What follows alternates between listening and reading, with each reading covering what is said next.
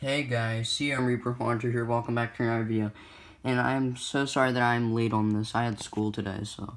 However, I have seen this photo this morning, and oh my gosh, this is awesome, you guys. Alright, so let's get started. So, this is our first picture of the Halloween Party Expo for 2019. So, yeah.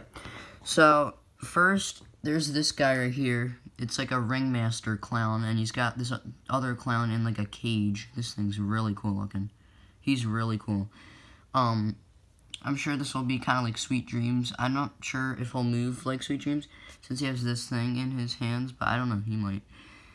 And then we've got this guy. He is awesome. This towering pumpkin guy. It's like the pumpkin patch prowler, except it's towering. He's really cool looking. I kind of want these two. These things, these two are awesome. And then we've got a rocking horse style remake, except it's on a duck. So. I guess that's kind of cool. And then we've got a few other stuff over here. There's like another Pan-Asian clown, I guess. And like, there's like a Ferris wheel clown, clown Ferris wheel. This is like Seesaw Clowns and Clown Ground. This thing is really cool looking. And then there's two other clowns over here. This one has like a dunce cap on his head.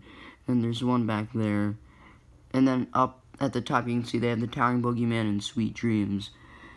So, yeah. And there is also another picture a better picture of the ringmaster if I can find it.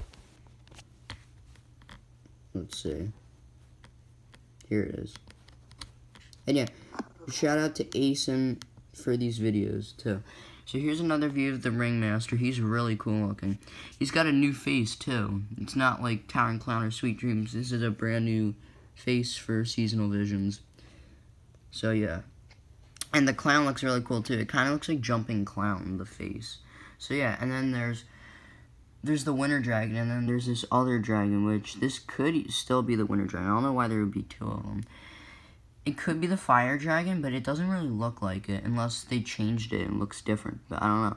So yeah, without further ado, I will see you guys in the next video. And look out for more spooky videos. And look out for a new video tomorrow for the Halloween Party Expo for 2019.